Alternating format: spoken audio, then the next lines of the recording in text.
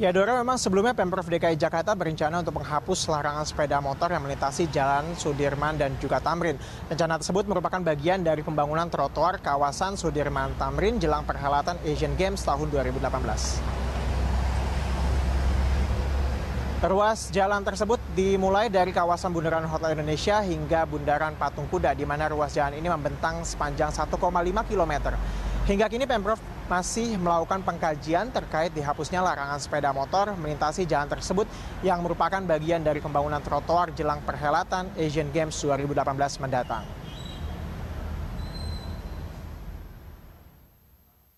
Ya, jadi sekarang ini baru pada fase perencanaan jalan sepanjang Sudirman eh, Tamrin dan di dalam perencanaan itu baru perencanaan nih dalam perencanaan ya dengan asumsi tidak ada kendaraan beroda dua.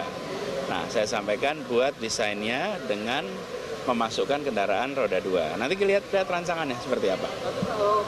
Jadi selama konstruksi sekarang belum ada perubahan. Ini kan lagi ada konstruksi. Tapi nanti ketika itu kita atur.